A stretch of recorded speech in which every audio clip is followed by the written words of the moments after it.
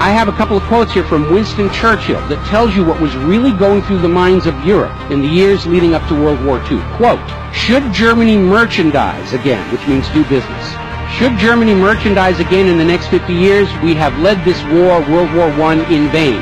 That was Winston Churchill writing in the Times in 1919. Another quote, quote, we will force this war upon Hitler if he wants it or not, end quote. Winston Churchill in a 1936 radio broadcast. Quote, Germany becomes too powerful. We have to crush it, end quote. Winston Churchill in uh, November 1936 speaking to U.S. General Robert Wood.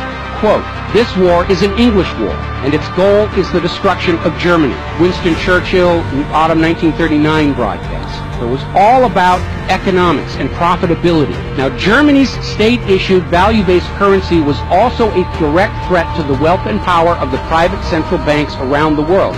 And as early as 1933, they started to organize a global boycott against Germany to strangle this upstart ruler who thought he could run his nation without a private central bank.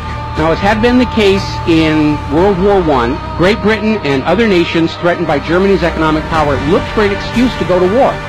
We could have, if we had intended so, prevented this war from breaking out without doing one shot, but we didn't want to.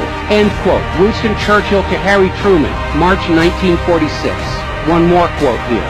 Quote, Germany's unforgivable crime before World War II was its attempt to loosen its economy out of the world trade system and to build up an independent exchange system from which the world finance couldn't profit anymore. We butchered the wrong pig, end quote. Winston Churchill writing in his book The Second World War.